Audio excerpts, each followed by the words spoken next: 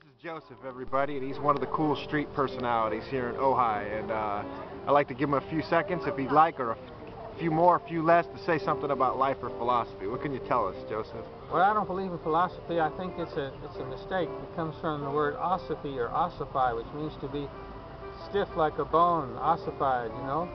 And that's why drunks call policemen ossifers, because they're trying to insult them.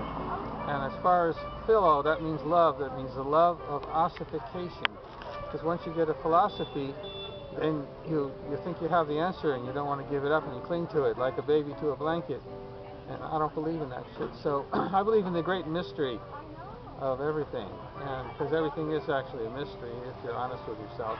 And you have to be willing to accept the mystery and give up the false security of your ossify of your philosophy, whatever it is.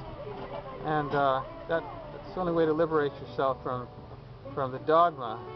And eventually your karma will run over your dogma anyway. So what you got to do is don't even put any value in your dogma, because dogma's a bitch.